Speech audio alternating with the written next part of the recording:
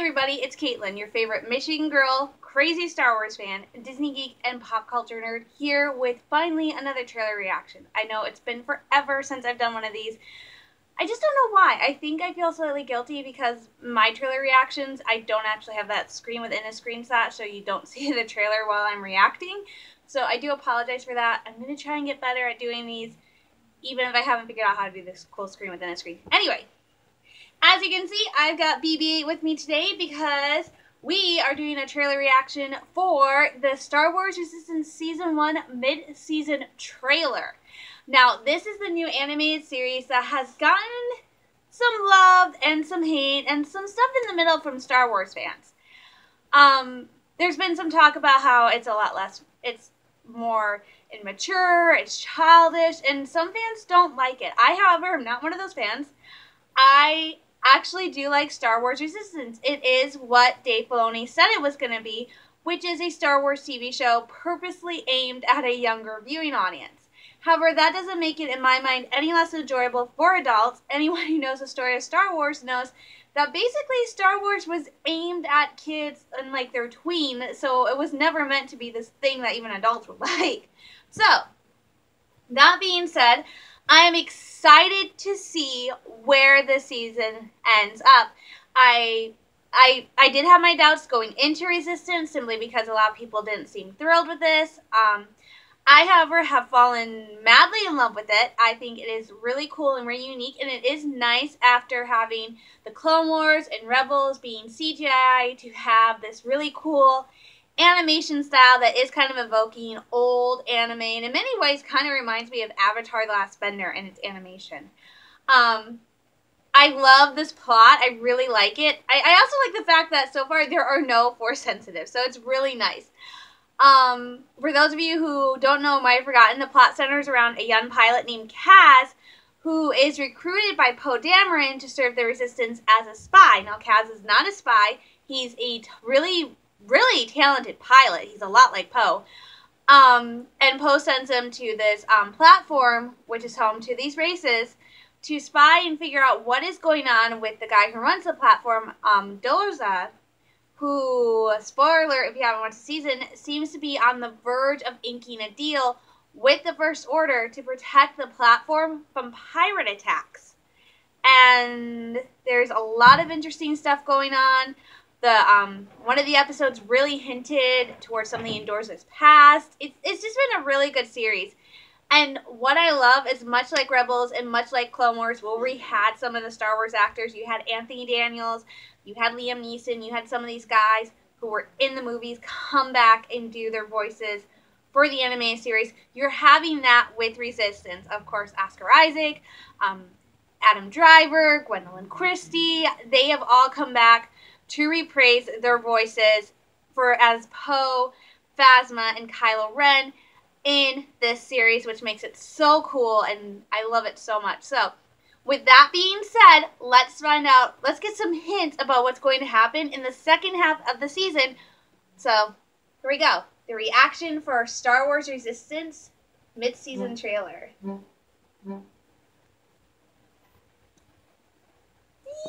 BB, are you excited? I am too. Oh, they're cute! Uh-oh. That is the fourth TIE fighter to arrive here this week. You have such a tremendous interest in the First Order. Now that they are increasing their security presence on the Colossus, you must be thrilled. These guys aren't security. They're stormtroopers, and stormtroopers are only for one thing.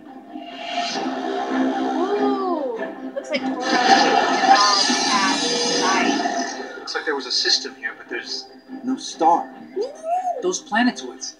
What could have done that? Oh my god. pirates. Travel the aces. You need troops to protect your station, not racers. First Order will provide all aerial security. All racers are officially grounded. Are you serious? We need a plan. They could be preparing for war. That's why they want this station. Oh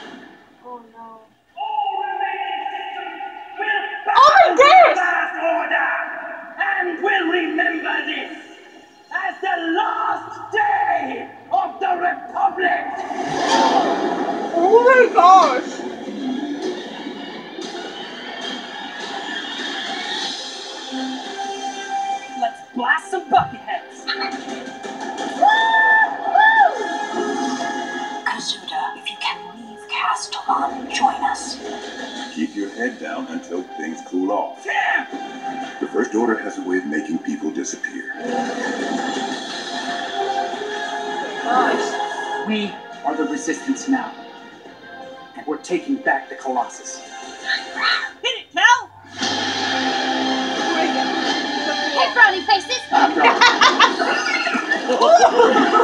Kaz, I'd fight alongside you any day. That is a truly amazing plan!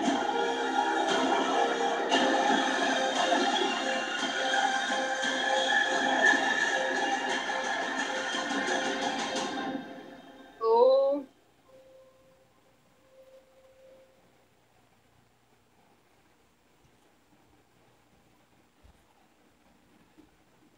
Well, there he was just talking about how it's a kid show, and that just amped it up. Holy cow. So it seems like Doza, the guy who runs the Colossus, has made his choice to side with the First Order.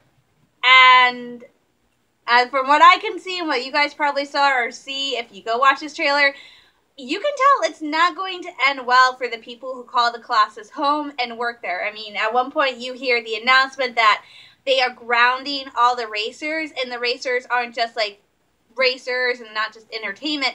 They actually are the first line of defense for the Colossus. So those are the guys who have the aces, the top pilots, are the ones who have been defending the Colossus against pirate attacks on top of the defenses it already has. And one of those aces is Doza's daughter, Torra. Um, and if you've seen Resistance, you know he's a little protective of his baby girl. Isn't that right, BB-8? Um, so it looks like the ace. So the first order comes. Looks like the aces are going to be grounded, and it looks like just with rebels, you're going to start seeing the ordinary people rise up and push back against this regime. Um, the one thing that got me is Hux. We heard Hux, and we saw a hologram of Hux. The first order troopers were watching him. Um, we've also seen Starkiller Base again, but the thing that gets me is the fact that, speech. When I heard it, I think that is the speech Hux gives um, right before they test Starkiller Base for the first time and destroy the seat of the New Republic. Um, so that's true. This really is kind of bumping into Force Awakens, but I don't think that's true because Poe is still missing at that point. So it's very, very interesting because they did say that this series takes place like right before, like a year or a few months before Force Awakens. So hearing Hux and hearing that speech, which kind of sounds almost identical to me to the speech Hux gives in The Force Awakens, is like, wow, this is this is really close. I mean, in Rebels they hinted at that it was really close at the end of Rebels. Um, took place like right before Rogue One, and then so it, it's very interesting to me that that they have that kind of closeness to them. So tell me what you guys think in the comments below if anybody watches this. Are you have you guys seen Resistance? Do you like Resistance? Do you hate it? What do you like, hate, love about it? Um, do you like the, the the kind of nuances, this little the plots? What do you think of Kaz? Um, the, are you excited if you like Resistance? Are you excited for the second half of this season? And where do you think the story is going to go? You guys, don't forget 2019 is a huge year for Star Wars fans. We don't just have Resistance. In, less, in just about three months, Star Wars Celebration Chicago is kicking off for five days. And they just announced some of the voice actors who will be appearing, including some voices from Star Wars Resistance.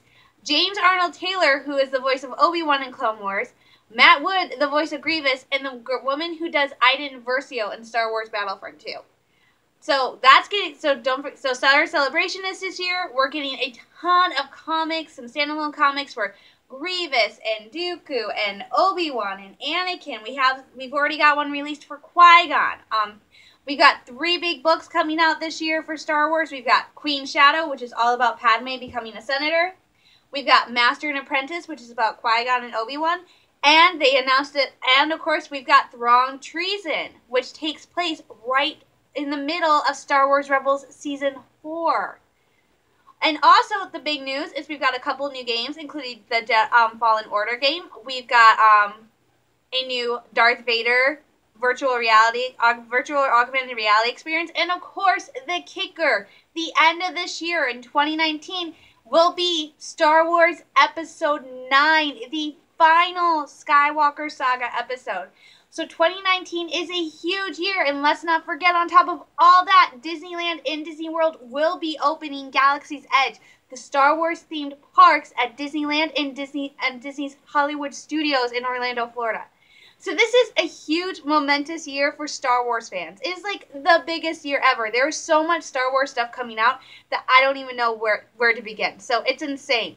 So I think releasing this trailer is a great way to get us pumped and get us excited. So you guys, if you haven't yet, go check out the mid-season trailer for Star Wars Resistance and tell me your guys' thoughts below. And also, tell me what Star Wars thing you are most looking forward to in 2019. I can't pick one. It's kind of insane. So from BB-8 and I, we are signing off. Go check out the trailer, and as always, may the force be with you. See you guys later.